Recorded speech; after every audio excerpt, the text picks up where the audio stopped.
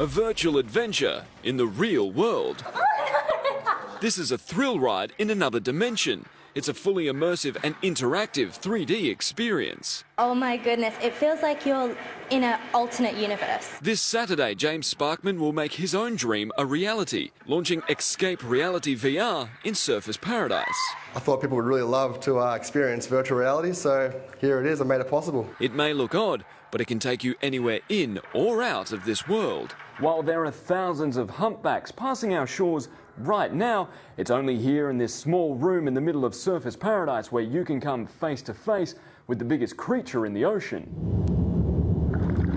It's completely computer generated, so the possibility is endless. For young and old. If whales aren't up to your speed, then why not blast off into space and take on unlimited hordes of alien enemies?